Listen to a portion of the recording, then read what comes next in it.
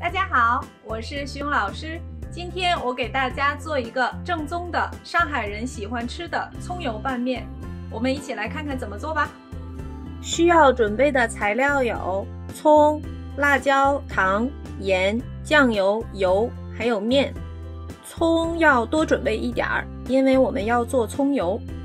我们先做酱汁，在碗里边倒入酱油。放上糖，再放一点盐，搅拌一下，多倒一点儿，开小火放入葱，开小火慢慢炸葱油，一直到葱黄黑色为止。好，现在葱已经变成了黄黑色。哦，到这个程度就可以了。我现在把里边的葱已经拿出来了，现在我们进行下一步。因为我喜欢吃辣辣的，所以我要在里边放一点辣椒。如果你不喜欢吃辣的话，不用放了。我们放上刚才调好的酱料，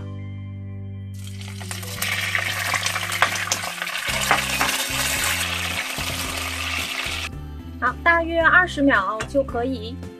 这样葱油拌面的酱料就做好了，味道特别香。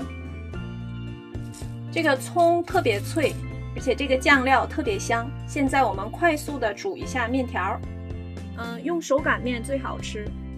那我们把葱油拌一下，拌一下以后倒在面条里边，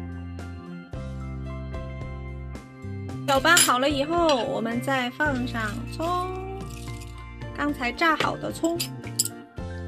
再放上一点新鲜的葱花，是不是看起来很好吃啊？嗯，又简单又香的葱油拌面，大家试一试吧。